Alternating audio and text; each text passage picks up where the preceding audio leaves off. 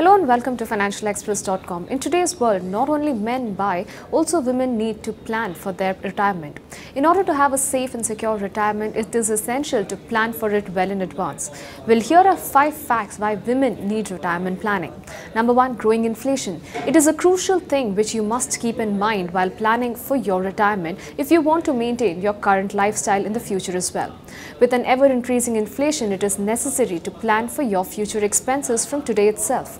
Number two, get self inspiration. If you want a comfortable and peaceful life when you grow older, then what is stopping you from planning for your retirement? Well, give a thought to it and gear up to a life of financially independent one.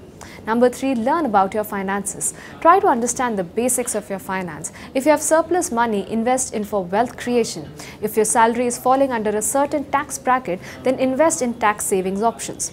Number four, minimizes risk factors by having complete protection. Every woman in consultation with her husband should ensure that she has taken an adequate life cover to safeguard her family from any future uncertainty. Term plans are suitable for providing an adequate life cover. And number five, requirement of medical exigency. Emergency expenses can occur anytime. One should always be prepared because unfortunate events do not knock one's door when they arrive. For more news and updates from the world of business, log on to financialexpress.com.